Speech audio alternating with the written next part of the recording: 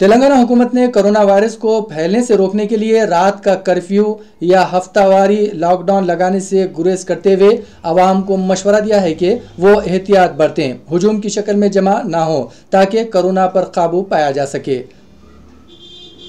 हर शख्स समाजी फासले को बरकरार रखते हुए कोविड कवायद पर अमल करे।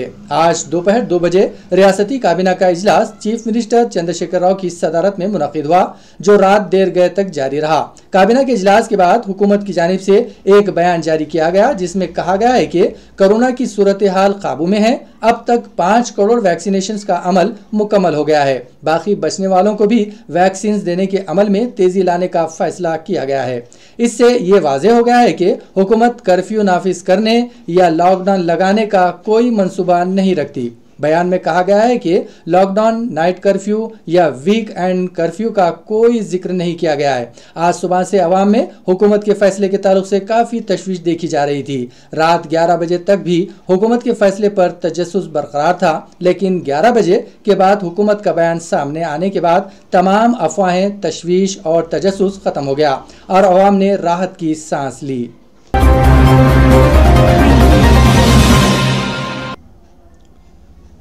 शहरी ने हैदराबाद के लिए खुशखबरी। इंडियन गैस ने अपने सार्फिन के लिए खसूसी तत्काल सर्विस शुरू करने का ऐलान किया है। एक ही सिलेंडर रखने वाले सारिफिन को इस सहूलत से इस्तेफादा का मशवरा दिया गया है। कंपनी के जनरल मैनेजर वी विट्रा सिलोन कुमार ने गैस बुक करवाने के लिए अंदरूनी दो घंटे सारिफिन सिलेंडर हासिल कर सकते हैं, लेकिन इसके लिए पच्चीस रुपये जायद चार्ज अदा करना होगा। गैस ऑनलाइन या फ़ोन के ज़रिए बुक करवाई जा सकती हैं। बताया गया है कि शहर के बत्तीस इंडियन डिस्ट्रीब्यूटर्स के पास ये सहूलियत दस्तयाब है। रियासत तेलंगाना में छत्तीसगढ़ की सरहद के पास आज पुलिस और नक्सलाइट्स के दरमियान हुई मतभेड़ में दो मानवास मारे गए। मल्क ज़िले वेंकापुरम मंडल के करागट्टा के जंगलाती इलाके में आज सुबह पुलिस और मानवाजों के दरमियान फायरिंग और जवाबी फायरिंग का तबादला अमल में आया।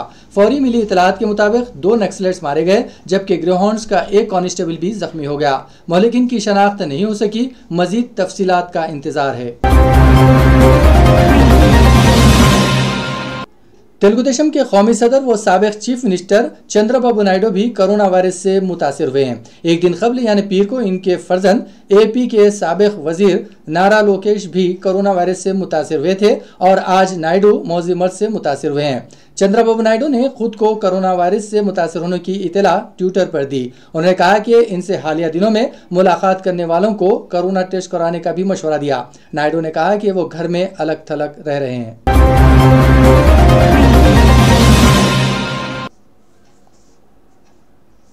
बस ड्राइवर्स को फीड्स आने से बस चंद्रान गुट्टे के डिवाइडर से टकरा गई। चंद्रान गुट्टा चौराहे के पास यह हादसा पेश आया। इस हादसे में किसी जानी नुकसान की इतला नहीं है। बस ड्राइवर को फौरी ही दूसरी बस के ज़रिए अस्पताल मुंतकिल कर दिया गया। इस वाक़े के साथ ही चंद्रान गुट्टा पुलिस वहाँ पहुंचकर बस को बाजू हटाकर ट्रैफ़िक के बहाव को बहाल किया।